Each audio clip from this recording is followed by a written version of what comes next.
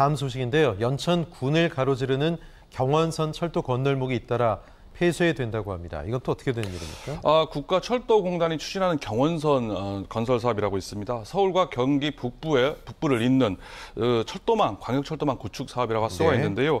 아, 동두천과 연천을 연결하는 어, 전철 어, 건설 사업이라고 할 수가 있습니다. 아, 내년 상반기 개통을 목표로 현재 공사가 한창 진행 중에 있다고 할 수가 있는데요. 아, 그런데 최근 어, 국가 철도공단이 연천 구간의 일부 건널목을 아, 폐쇄하겠다는 현수막을 개첩을 하면서 주민들의 원성과 아, 민원이 폭주를 하고 있는 상황입니다. 아, 경원선 연천 구간은 이제 연천에 이제 도청, 아, 그 군청 소재지가 있는 지역인데요. 아, 이 구간은 연천 건널목에서 가자울 아, 건널목까지 거리가 약 2.35km 어, 가량이 됩니다. 그런데 여기에 총 다섯 개의 건널목이 있는데요. 이 중에서 세 개를 이제 폐쇄하겠다고 밝힌 겁니다.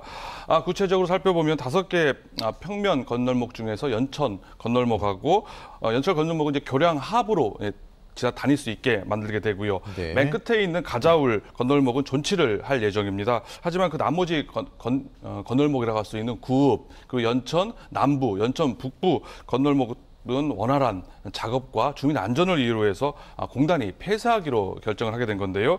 아, 그동안 주민들은 아무렇지 않게 어, 이용했던 도로 건널목이 하루아침에 이제 이용할 수 없게 되는 관람 네. 우회를 해야 되는 이런 문제가 발생하게 됩니다. 이러다 보니까 주민들이 아, 이에 반발, 집회를 여- 여는 등 어, 철회를 요구하고 나섰습니다. 예, 상당히 기- 긴 거리가 이렇게 되면 건널목이 없어지는 건데 당장 주민들이 이게 폐쇄되면 어떤 불편을 겪나요? 어, 주민들 입장에서는 상대한 불편, 피해가 우려가 됩니다. 이게 한 2km 구간이 되기 때문에 네. 어, 공단에서는 뭐 그 정도면 우회할 수 있지 않겠느냐라고 얘기를 하고 있는데요.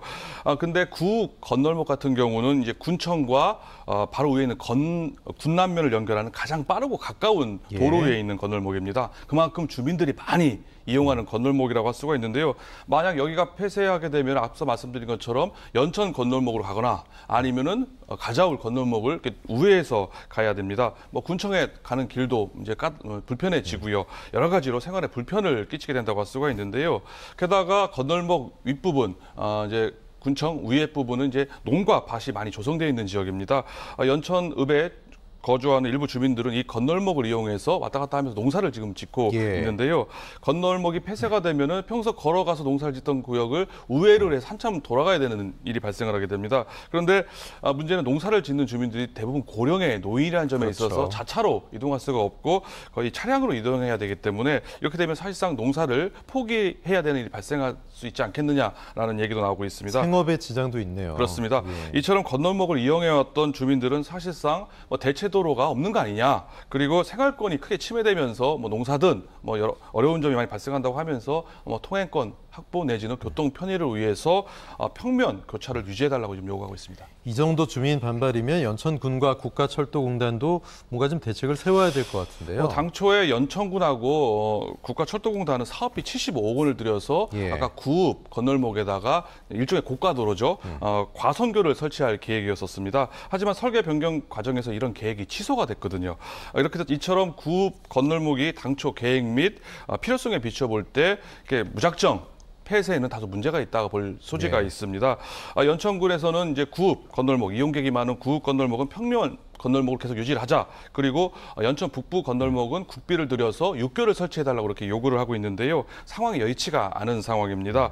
아, 특히 어, 구읍 건널목은 앞서 이용객이 많기 때문에 연천군에서 자기가 건널목 운영 비용을 다댈 테니까 네. 설치하게달라라고 요구했음에도 지금 이게 받아들여지지 않고 있는 상황입니다. 아, 실제 이 구간은 어, 배차 간격이 어, 상대적으로 여유롭기 때문에 아, 평면 건널목을 유지해도 안전에는 크게 지장이 없다라고 예. 어, 발- 어, 연천군의 입장을 밝히고 있는데요.